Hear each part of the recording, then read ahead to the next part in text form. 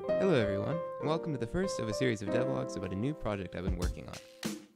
For the past four months, I have worked on building a high performance, open source voxel engine, which aims to be capable of advanced rendering techniques such as path tracing, all while being easy to use and integrate into your own projects. Currently, it is in very early development. It's somewhat unpolished, not all the features are yet implemented, and the performance is still not where I would like it to be. Currently, it is two standalone applications, one for generating the Octree data structure, and one for rendering the Octree using GLSL shaders and the OpenGL API. Both use C++. If you want to mess around with the prototype version that I wrote in Python, you can download it from my GitHub repository that I'll have linked in the description. It is two standalone applications as well. Just click play on the generator and draw your scene. Then, click play on the renderer and observe how efficiently it is able to ray march through the scene. Since this devlog covers the entire development so far, we'll start from the very beginning. I started out by making a quad tree generator in Python that allows you to draw scenes with the mouse and see a live quad tree generation as you draw. It then saves this quad tree to a file for you to render later.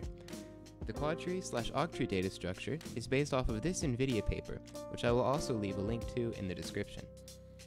After the quadtree generator, I moved to working on another Python script that can march array through the quadtree allowing for much, much faster rendering of the scene than if you were to use the naive approach of checking all the boxes individually.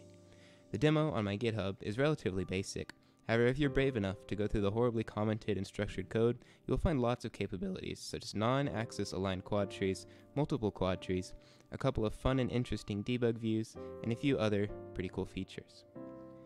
After I had the basic technology figured out, it was time to move on to OpenGL, GLSL, and C++, and the glfw3 library. After quite a bit of effort, I managed to create a script for generating SVOs in 3D, and after a little bit more effort, I managed to convert the Octree structure to a bunch of boxes that I could render to the screen. This let me debug the SVO, however it wasn't the actual fancy ray marching technique yet. About a month later though, I managed to implement the actual ray marcher, which, other than just one or two bugs, worked pretty much flawlessly after the first write-up.